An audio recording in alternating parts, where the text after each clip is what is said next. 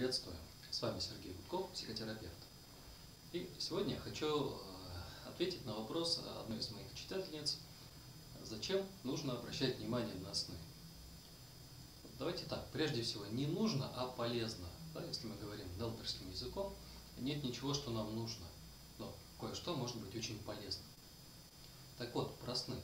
А, как пишет наша коллега Джанет Рейноутер, сон – это экзистенциальное послание человека самому себе о том, кто он и какая, какова его ситуация. Вот почему именно сон? Потому что есть те вещи, которые мы не хотим про себя знать, которые, может быть, нас пугают, а, которые нам неприятны.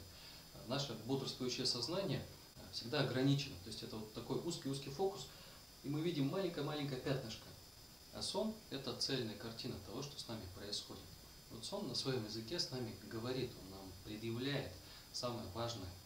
Поэтому, если вы хотите быть в контакте с собой, со своей психикой, цельной психикой, да, со своими бессознательными ресурсами, то э, понимать язык снов, научиться в нем разбираться, беседовать с подсознанием, таким образом или хотя бы получать от него ответы, это очень хороший, очень быстрый, надежный путь.